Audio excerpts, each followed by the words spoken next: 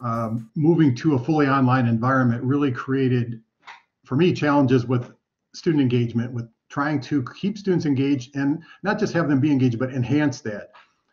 And I um, found that, and I have a particular application, but I found that the Collaborate classroom, the virtual classroom in Blackboard, really added some uh, opportunities for me in some of the courses that I'm working on. And uh, one of the things that the Collaborate Classroom allows me to do is kind of change things up a little bit. So we can be doing things and doing things. And then instead of doing the same thing every time, it's a chance, well, let's go here and try something that's not quite like everything we've been doing before. The students are put in the roles of one being an applicant for a, a job, and the second being the employer. And so the roles are set up in such a way that they're they're clearly explained um, for each one of those two separate components. And um, the students who are fairly used to being applicants really see that there's so much more to it if they want to do a good job at this.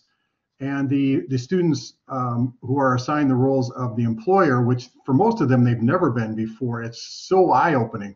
And so, uh, so why do I do it? I do it to engage the students, and the the context creates additional answers to that why question because they start going, wow, I hadn't thought about what it's like to be there, or how I really do have some opportunity to negotiate. That that one of the threads that I try to run through all this is that I my personal belief is negotiation is everywhere. We all have opportunities to do it effectively on a daily basis. And being better at it is not about beating the other person. Being better at it is about, I, I argue, is making the world a better place. We, we can all end up in better positions, literally, if we learn how to be effective negotiators.